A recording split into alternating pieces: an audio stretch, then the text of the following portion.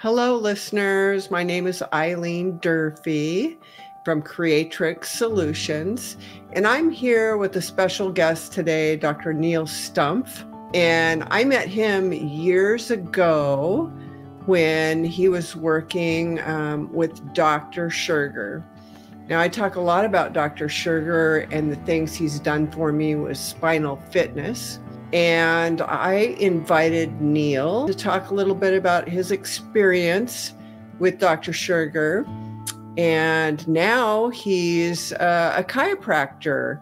Uh, when I met him, I think he was a student and uh, learning under Dr. Scherger. And uh, Dr. Scherger passed away in 2016. And one of my passions is to teach people about spinal fitness because of all my back pain and the history that I've been through.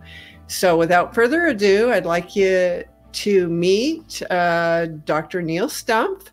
He can tell a little bit about himself to you. Yeah, I got interested in chiropractic after I met with Dr. Scherger. Uh, yeah, I had gone through some of his uh, treatment plan at the time, and it, w- it was interesting. Yeah, the way he kind of had an engineered model of how the spine and body should work and the forces that were placed on the body. Yeah, so that, that was pretty interesting at the time. Yeah. Yeah. Um, I met him in 1978. You know, summer of 76, I grew nine inches in three months.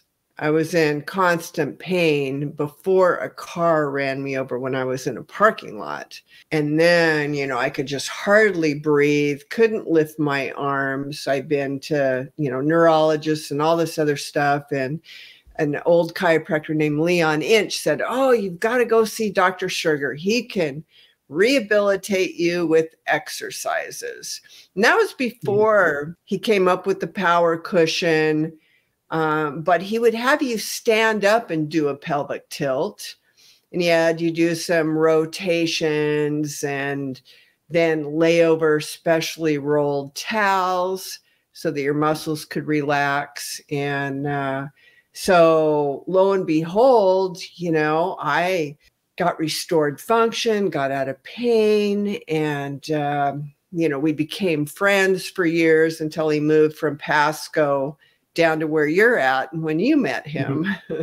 Yep, yep. You know, I know that he worked with the Olympic team in Colorado and then with Ron O'Neal from the New England Patriots and Smitty from York Barbell, trying to figure out about this shape. Why did it give you, you know, the advantage? So can you tell us a little bit about your experience with Dr. Scherger? Were you involved in that at all, or were you uh, later? Because I know he worked with the the state of Washington and got uh, the National Strength and Conditioning Association peer review approved. So he offered continuing education credits for professionals. So tell us where you kind of interjected in that timeline. Yeah. So I came in most for the most part. It was a little bit more afterwards when he was kind of uh, more retired and slowing down a little bit. But um, what we were working on at the time was kind of uh, improvement of his, uh, I suppose, lecture material as far as make it more accessible. So for a lot of what we've been we were doing was to work on um, kind of a lecture presentation that could be given a little more easily there. Yeah.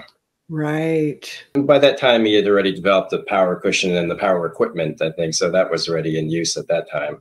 Yeah, it's a strange concept, actually. Well, I mean, it makes a lot of sense now that I've really studied it and experienced mm-hmm. it.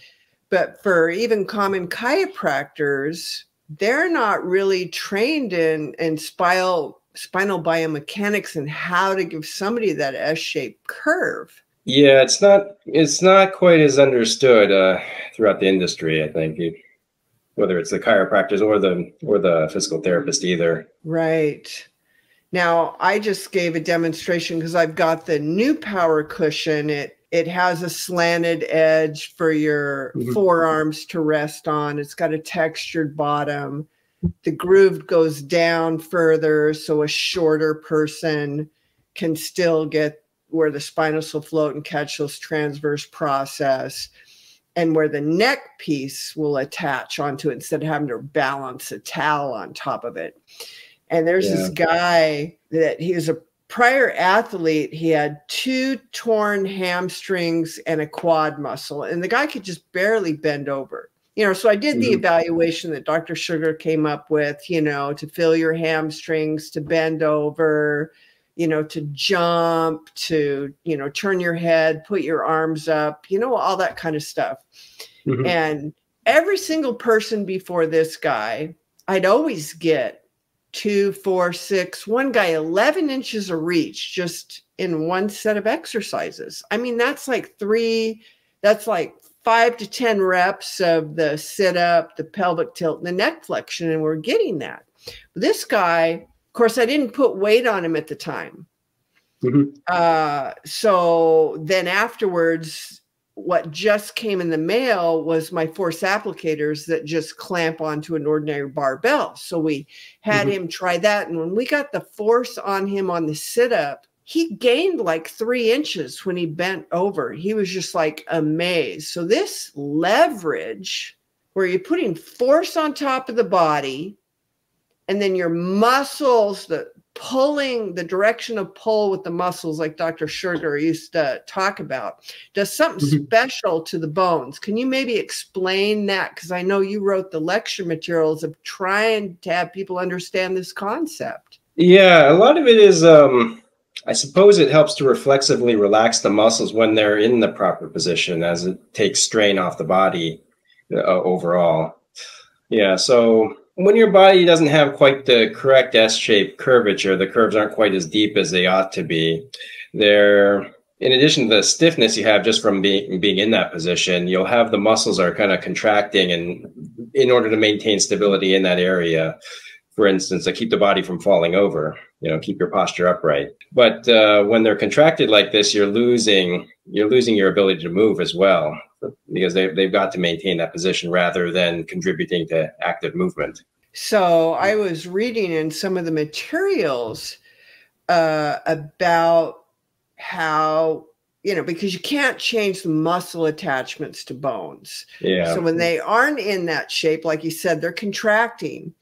But like when you go, your stride length, for instance, can't be as long it'll land, you know, your leg will land prematurely. And then about the fast muscle twitch recruitment. So you you you know you're not going to jump as high, you're not going to run as fast. Uh, you know, so if you can explain a little bit more about that to us. Yeah, so about those uh the muscle con contribution to the area. Yeah, basically um when Dr. Scherger had the idea, and then from his uh, engineering, that the there are groups of muscles that should be doing the postural work, and these are the longer, the shorter twitch muscles that um, do long-term contractions, whereas the uh, fast twitch muscles should be reserved for the active movement.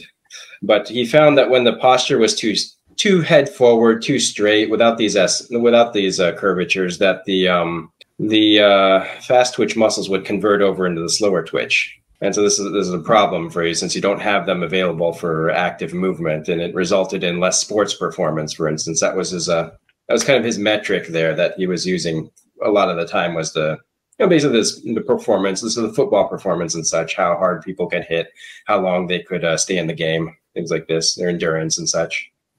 Right. Now he also talked about this teeter totter effect. I mean, to justify mathematically why is the S shaped posture? I mean, I bought a full size mannequin and tried, uh, you know, a skeleton and tried to bend it into correct posture, and it's impossible. None of the uh, spinal, you know, models yeah, out cool. there display ideal curvature. So it, it's like so yeah. unknown. well, yeah, they're they don't really take that into account with the models there. You know, I know when you worked with him, part of the passive home maintenance that he would have people do would be to take a bath towel and roll it in, you know, to fold it in half and then roll it in so there was a space in between there so that yeah spinous could be in there, but the edges of the transverse process would be supported so that you'd lay down and, you know, the muscles could relax then. So, can you yeah. explain about that twisting and how that really therapeutically worked for people? In, in regards to the towel rolls? Yeah, and and letting that spinous float and uh, for just the yeah the the concern was that so, so I suppose you could do some of these towel roll exercises without that that center uh, the center spot, which um, most chiropractors would be doing that. But uh, if you don't have that center spot in there, the spinous will lay right onto it, and there's concern that it would cause a rotation into the the neck or the back, whichever you're doing at the time, um, but as well as uneven pressure on it. So having the having that little um, I guess the, the, the, soft spot, the edge in there, that will let the spinous rest, and then you know you have the joint supported by the pillars of the neck and the back. Right. So one of the things that Dr. Scherger always talked about is having a neck cushion with the groove to attach to the power cushion. And he gave me like he had these wooden things with like a groove so that you could have the vertebrae float. So what yeah. I did is I made these cushions that are the soft, kind of squishy, but but they're a lot firmer than a towel. But so the spinous mm-hmm. can float here. Yeah. And so I started doing I actually used my 3D printer and printed molds and then I poured foam ones for prototypes initially. So I tried all these different diameters and just the the general population I found like you needed to go from two and three quarters up to the three and three quarters and then go in half inch increments in between and then have the you know the different densities. And mm-hmm. the difference that i noticed in these rolls from the towels and i don't know i sent you some you know cushions to try. I don't know if you've done the back twist and laid over them yet but yeah we've been lying on them. They're yeah, they, they work well yeah. They hold up they hold together better than the towels did. They were always had the issue of unrolling, basically. Always right, yeah. I mean, I used to use rubber bands on the ends and everything. Yep. But after I find, you know, after I get the set that I'm really comfortable with, then I'll like go up a diameter or up a density. But when I'm mm-hmm. laying there, I literally hear my bones move. And yep. I went and did a demo with uh, Dr. Adam Evans. He's a chiropractor here that I go to. He does some Pettibon moves as well as which mm-hmm. is, you know, what I like. So he's just he just came back, you know, his whole family on these things and all their bones are moving, just laying there relaxing. He's just totally blown away, you know, with the equipment. Uh, you know, to encourage that curvature. Mm-hmm and uh, so now about the the pelvic tilt and the guides you know that you wrote and explained i know that the the pelvic tilt is more segmental posture correction. Can you explain that to us? So the pelvic tilt we were we were doing that after the sit-up exercises on the power cushion, and the, the point of that was to set the uh, set the last vertebrae as well as the pelvis into alignment there. Um, yeah, when Dr. Scherger, when I was working with Dr. Scherger, he was telling me more that the uh, the uh, sit up exercise is real good for the back, but potentially while doing that exercise, I was concerned that the uh, pelvis would slip out of alignment with the rest of the back.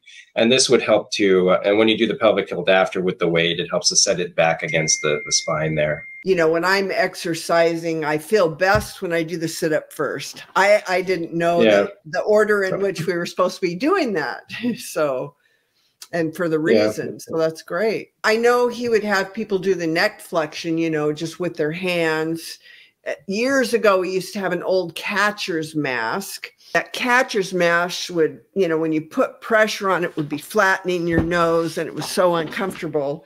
And mm-hmm. so, you know, I came up with the neck shaper, which has got these cushion pads he had mm-hmm. something similar to this yeah. attached on the weight stack machine. So I basically took his distance and shape of where your chin and your forehead pad is. So I'd still have mm-hmm. the mathematical, you know, distance.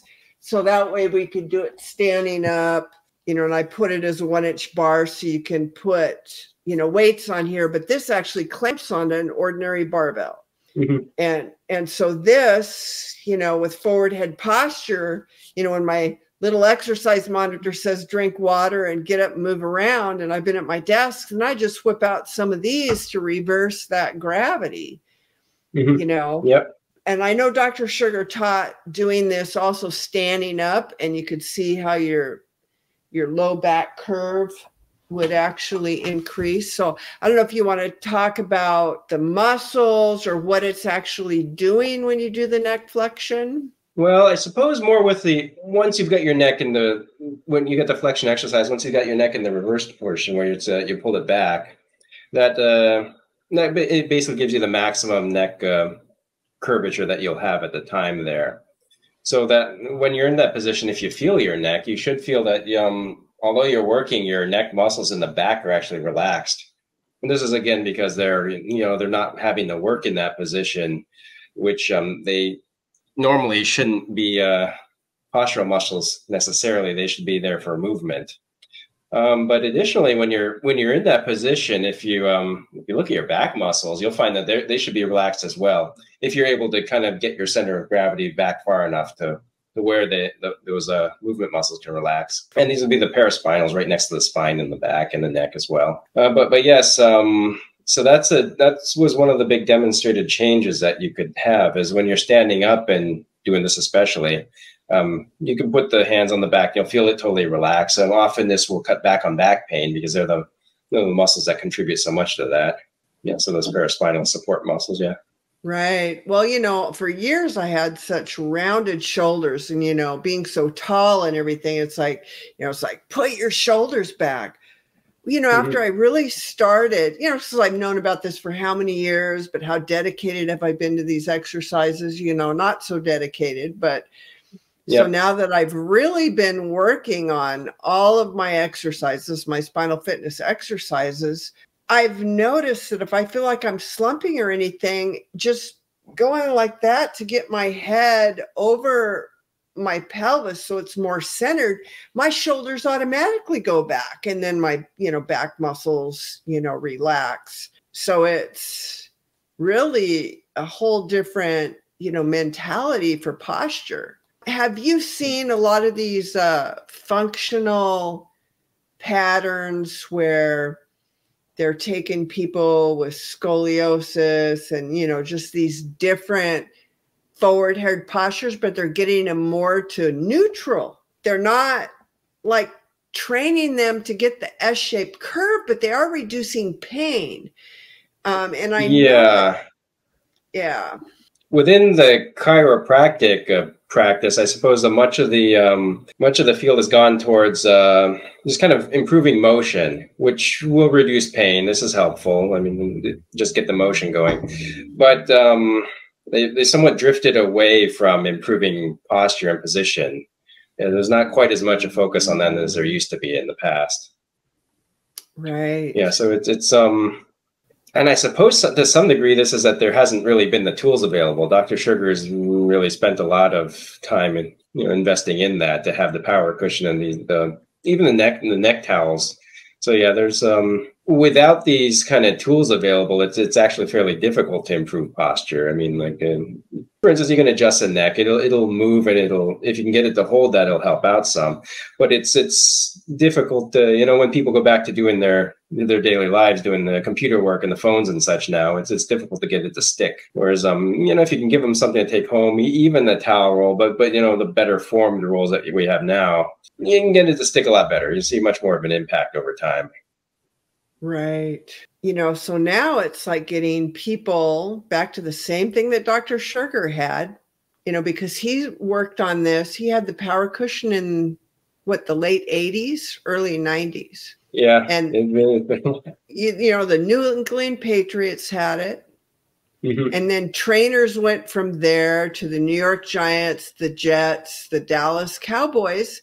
But it's like they didn't want their competition having the best widget that would give them, you know, any advantage over them. And so it was just kind of like a, you know, Dr. Scherger was more of a mad scientist you know he mm-hmm. just loved you know the math improving all of that uh, but it just never really took off now yeah what about uh, the people at the national strength and conditioning association are there any of those people around who really understood dr Scherger science? Uh, do you know of any of the guys there that uh, i haven't been so much in touch with them. Um, we've talked a little bit with uh, some of the Olympics Olympic team there as well, and they used it, but um, my understanding was they had trouble getting the uh, the higher ups to kind of really invest much more in this, so they kind of used it on their own personal basis for their own teams, but not necessarily. It didn't get necessarily throughout the whole Olympics uh, Olympic uh, right. organization. Right yeah, it was, it, it, was always hard to push, and there were, I guess, um, everywhere there were kind of agendas that uh, you know hard to get the people to change. Even the military, I think he had trouble with them too. Like he he would have, um, I guess he had members of special forces come through and such, you know, even Marines and everyone else, but they wouldn't. Uh, they get better and then wouldn't tell anybody because they uh, couldn't report that they had an injury. Otherwise, they'd be taken off. Oh wow. Okay. Yeah, so they would just uh, they would just keep themselves in shape, but they couldn't necessarily report this uh, any, to you know anyone else in the command structure. Right. Well, I know he also talked a lot about astronauts because of lack of gravity and being able to use this equipment. Because you always see the astronauts when they're getting ready to fly away. You know, you see the pod land in the ocean, but you never see the astronaut because they're like carrying yeah. off in stretchers because they have no posture. Yeah, that was interesting. Um, uh, yeah, so NASA actually uh, NASA brought this up a little bit um, when we were looking around. They actually had some articles in their research into this. There, uh, it turns out without gravity, um, you you do lose the the curvatures fairly quickly. Yeah, without the force of gravity on the body, and of right. course, um, it's a double edged sword. I mean, you know, you you uh, you need the you need the curvatures because of gravity, but uh, you know, you, you wear out over time as well. So yeah, I've uh, really noticed a difference. Um, I try to do my exercises like at least three days a week.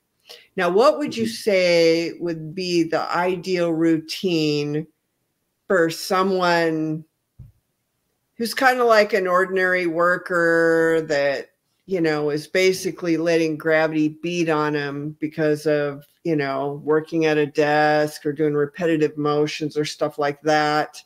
Uh, what kind of program would you put someone on that, you know, would come to see you? Well, if they were willing to invest in it, you know, to have them do a little more, maybe perhaps every day to start with. Um, right. But people have trouble doing exercise. Uh, if you can, you know, yeah, people had trouble keeping up with these exercise programs. The interesting thing with this was though it, it worked really quick. You know, you, you wouldn't have to have people on it like uh, that frequently to get the the impacts there. I mean, despite them going back to the phones and back to work again, even you know, even once a week would uh, you'd still see improvements with it. Right. But but if you could get somebody that was in better health and you know was uh, interested in really getting quick results, um, you, you can have them do it every day and get them you can get you know quite a ways along with that. Right. Now, from everything I've read, Dr. Scherger would say start with five to 10 reps. If that was causing strain, don't do more. And then you know he he mentioned somewhere i read about working you know 3 to 5 times a week over the course of 8 to 12 weeks building up to a hundred reps potentially of like mm-hmm. a sit up or a pelvic tilt. Yeah, he did. He did get a little more aggressive with it when, in the later years, though. it was more. Um, of course, he was researching, and he had to be a little careful at first. But then, you know, he developed it. He said that he saw there there weren't really a lot of problems that came with this. You know, there weren't a lot of reactions like some other other modalities may have. So, uh, so what was his yeah. last recommendation to do these? you know, daily yeah, yeah. and yeah, I think he he went basically every day with this. He could do it more than once a day. I mean, if for sit ups and such, there it's um the way the power cushion is designed. It's it's the idealized posture of the body, so there really isn't. Uh, you wouldn't really overdo it necessarily. I mean, you could lie on the power cushion as well and get benefit from that too. Yeah, so there okay. it, um it won't put an excess curve in your body. It's it's just it's the correct curvature that it should have been. Yeah, for a you know for an average person. Uh, w- when you're trying to uh, initially adopt that after having you know a fairly flat neck and back, though, um, you do want you want to go um, as much as your kind of uh, body will allow. And typically for older patients, that would uh, you wouldn't be able to do quite as much. For instance, a weight, which was the bigger thing, was you know when when you add weight to the body, you can't add quite as much initially, and you need a little longer time to uh, to kind of let the body adapt to it. But younger patients, you know, maybe someone who's in high school, uh, high school, college, you know, you you can go very aggressive with this. Right. And they'll get sore, but you know, you can go fairly aggressive and and get and get the quick results. Right. I've had people like arch over the power cushion, and it's almost like you have to put a neck collar on them because they can't yeah. lay back, you know, with the weight of their head. And so it's just, I guess, starting someone where they're at and then slowly you know, progressing from there. Yeah, I remember he was telling me he had a well as a comparison, he had a patient in I think their uh, 90s that was uh, it took about a year, but the improvement they had was they, they were um, they were basically able to walk up and down their stairs where they couldn't have previously, and you know they're much more stable. And they didn't have the falls that they had in the past, which is very good. But but then when I did when I went through his program, I was able to get basically it took about um, I think I was able to triple my strength in about a month. I was fairly young at the time. So.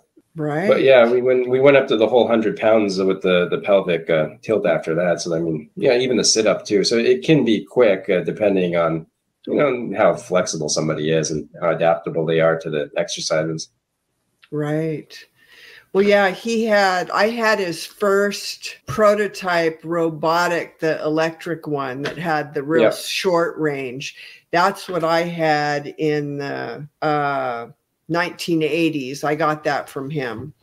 Mm-hmm. And so I used it until the motor burnt out. Uh, I think I lost the motor in the late 90s and then I was without anything. Then I was like filling up like Naugahyde vinyl. I was sewing sacks and filling it with like sand. So mm-hmm. then I could put it on my chest and I could do, you know, the exercises that way to get, you know, to get some resistance. Mm-hmm. And I had the uh, blue power cushion and the black power cushion. So I had the hard, you know, and the medium one. And mm-hmm. so I've, you know, held on to those, you know, and use those intermittently. And it's just, it's just made a big difference. And so going from somebody who's been in chronic pain, you know, where other people would say you can't recover from that, you know, to using his program. And now I'm 60 years old. And I mean, I don't have any pain in my body, even though I still go to the chiropractor like a couple times a week not a week, mm-hmm. a month, and you know, get adjusted. Because like if you look at X-rays of me, I don't have worn up bone edges. My discs are all good. You know, it's just because of the years of chiropractic and you know, being some, you know, I guess in recent years I've been more consistent with these exercises, but uh yeah, it's just the S shaped curve is just so important because I actually became a practitioner for hair analysis. So, you know, looking at the adrenal and the thyroid gland for energy production. And really, everything's about energy at the cell level. And we get right mm-hmm. down to think about it what is robbing your body of the most energy? It's the structure, it's all these tight muscles everyone's like drinking down coffee and waking up fatigued. It's the number one complaint. And so if we we can get people the S-shaped posture, I think there's going to be a lot of health problems that are going to improve. You know, of course, you being a chiropractor, you could tell us all day long about the nerves being pinched and, you know, all that, how that translates into health issues. Mm-hmm. Yeah, yeah. well, is there anything else that you think we should tell, you know, the listeners about for their, you know, to encourage them to start this program? Suppose we haven't gone over too much on uh, some of the benefits of adopting the S-shaped curvature. I mean, we've talked about the performance, but maybe why the performance, what the performance derives from. So some of this, uh, I suppose the the basic point of it all is to minimize the force on the body. The, adopting this S-shaped curvature. So that's that's the big reason, right? Is it, it allows the muscles to relax because they got less to handle. It allows uh, less less wear and tear on the spine because they got less weight to take up yeah less force in total. And i suppose if you're you're talking to the maybe the average person uh, what short sort of back shape they think they they say you want to have a straight back but you know kind of what what does that really mean you know? If you're talking about literally straight uh, from dr Scherger's work we know that that puts more weight on the spine more force on the spine. Basically being the reason is that your your uh, back is in the back it's not right in the center of your body since your spine is in the back, if if it's literally straight, then you've got to use much more muscle effort to keep yourself upright. And this just translates into having more, uh, you know, more wear on the spine, more force there. So the you know over time the joints wear out quicker, the muscles just can't handle it, and they give up. You know, you get the pain as well. They they let you know that way that you can't handle it. And so you can reduce this weight by applying curvatures to the spine, the correct curvatures. You know, having the I guess the the back the back curvature of the neck and the low back, and then the you know kyphotic curve of the mid back there, which would be the other way. And in doing this, it uh, it basically moves the center of gravity forward until it's kind of right in the middle of the body. So, and, and when it's balanced that way, there's a, there's much less effort needed to maintain that maintain that shape. Yeah. So the um, the mus- the postural muscles, these uh, slower muscles, can can just work to maintain that, and you have the uh, the fast twitch muscles is reserved for your activities. Yeah, so so that that kind of gives it gives a lot of the strength there. One of the things that I noticed uh, from studying all of his literature was that when you have the S-shaped force, I mean the S-shaped curves, the shear force kind of goes to where it pushes bone on bone the facet bones. Which they take up a lot of the uh, they take up a lot of the well the shear force there which is created from having them um, from having that posture. Basically in, in the s-shaped curve um yeah i suppose there's a there's a weight gets um instead of being compressed as if it were fully straight like we talked about earlier it gets applied to the uh, the muscles the ligaments and then those uh, facet joints in the back the the bones as well yeah, so they will uh, they'll prevent prevent it from sliding back posteriorly, and then the ligaments will prevent it from going forward. But uh, there's some people have some concern that having it that way, there's too much force on the facets. They they you know some people get these spondies, I guess. But uh, when you have the idealized back curvatures, that it's it's still minimized the force on the facets, even compared to you know having a having a forward posture, you know support on the back. Yeah, right these spondies aren't quite as much of a concern if you've got these curvatures as they would be otherwise, despite the you know the weight on them. And then when you lose the curvature, it's like the direction of shear goes the opposite way. Yeah, it will go and forward instead of back into the bones. And in that case, you you don't have the bone support; you got the ligament support instead, and they um, they'll stretch over time. They'll get weak and they'll stretch more than they should, and this leads to well, typically ligament injury, but you can also lead to the whole joint injury and arthritis building with uh, you know excess movement in that direction, you know, where the, the joint movement isn't kept tight. Right. So yeah, and, and you know these exercises where they're creating posterior shear, it's like it's so mm-hmm. much easier for the vertebrae to actually get dislocated, or like the ligaments, like the the discs they're like acting as a ligament right in the spine so yeah, that yeah. they can they can become herniated actually much easier when you don't have the s-shaped curve. Yeah that was uh an interesting part is that it's um it, it, without looking at the joints you'd suppose that the weight and difference might not be so much but it's actually quite a bit. It's uh, multiplied quite a bit over when when you start losing these curvatures that uh, absorb the the force of everything and I don't have it in front of me right now, but I think it was uh, even as much as triple as much weight. Right. Yeah. There's a, a lot of information that that you did in those PowerPoint slides. And uh, I've been working to rewrite some of those, you know, because of mm. copyright issues and to being able to share this knowledge with other people.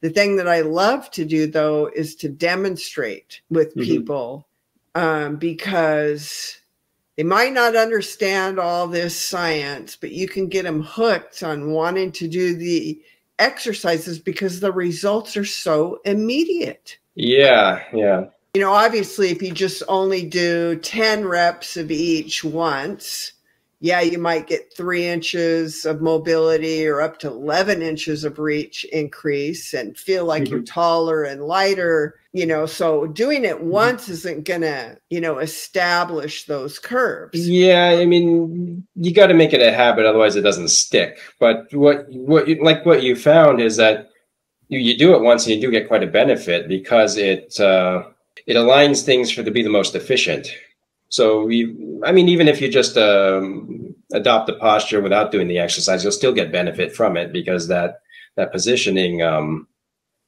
reduces the forces on the body and kind of maximizes how much you can uh, apply as well. Like we talked about pulling your neck back, how it relaxes everything right away because then it just doesn't have to work, so it doesn't. Right. And so so immediately you'll get the benefit. Right. So it's just getting the body to feel comfortable in that position. Yeah, because uh, someone who hasn't done these exercises, they, you know, someone who's not, who's uh, fairly flexible, they can adopt the position, but uh, they got to work a little too hard to keep it. When you put the position into the body and the spine there, then it doesn't have to work as hard, and you'll feel much more comfortable with it, and you you know, you won't give it up so easy. Right. So th- this equipment is really critical, and and so now that uh, I've got a power cushion, you know, prototypes ready. Mm-hmm. I'll be sending you some more stuff so that you can check them out and try them. And the goal is to start teaching professionals, demonstrating um, you know getting the word out there maybe maybe this is the time where people will accept it you know and use it. Because i think that our physical education systems of how we're training our children the exercises that we're having them do we're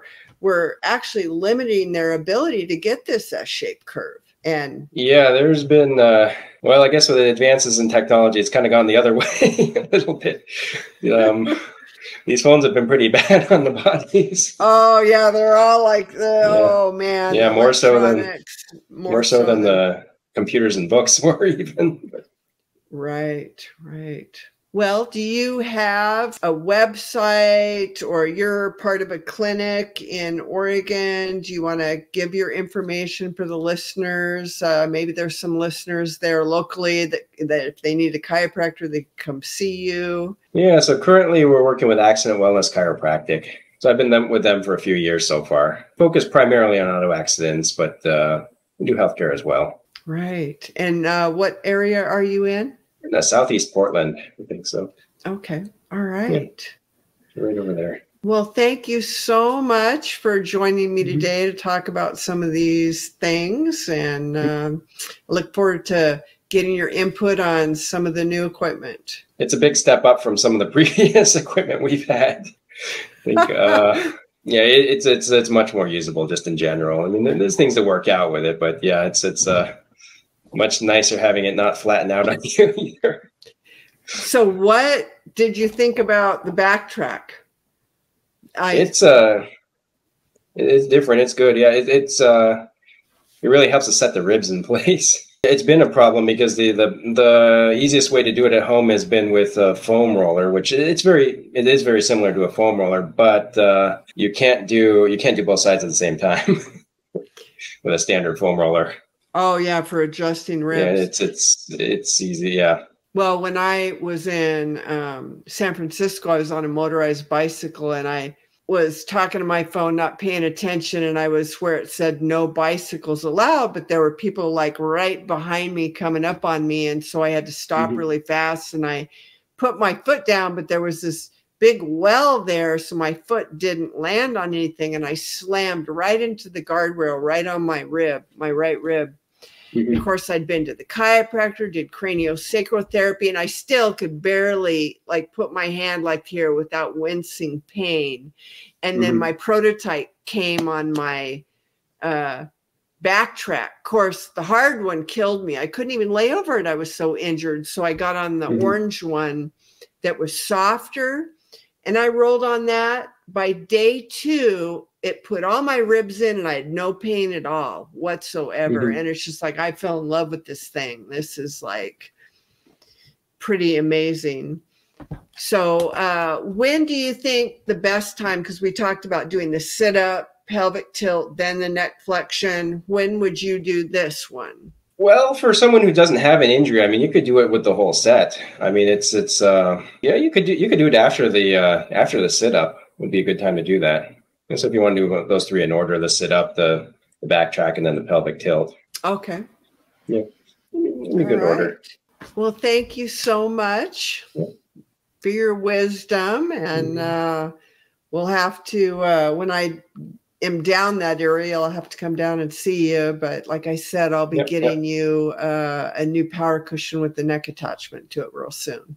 Well, thanks. The the new one looks uh looks a lot more a lot more put together than some of the previous ones. yeah, and it's the surface is smooth too, so you can clean it. Because mm-hmm. yep. some of the other ones that there was a lot of bubbles in the foam when they yeah. mixed it and and then the surface texture wasn't you know ideal i mean it was it was, it was about the best at the time but it's been a few years things gotten better right well those were poured with what they call a mold that has a mm-hmm. backing mm-hmm. that had like a silicone liner so yeah. with the silicone liners they only produce so many parts and then you throw mm-hmm. them away or if they're sitting on the shelf there's only so long before that material deteriorates. So mm-hmm. what I did with these products is I paid all the extra money and had them cut out of all the molds out of aluminum. Mm-hmm. So they're forever molds. Mm-hmm. We never have to replace them. And uh, then it produces this really nice, smooth, you know, consistent surface. And um, for the, I don't know if you noticed or not, but for the the cushions that have the groove in them, mm-hmm. ordinarily you could have just snapped those in half because of that shape. But inside these little holes right here, there's a wooden dowel. Mm-hmm. So nobody can break them in half. So yep, these are yep. going to hold. These are going to hold up and be just fine.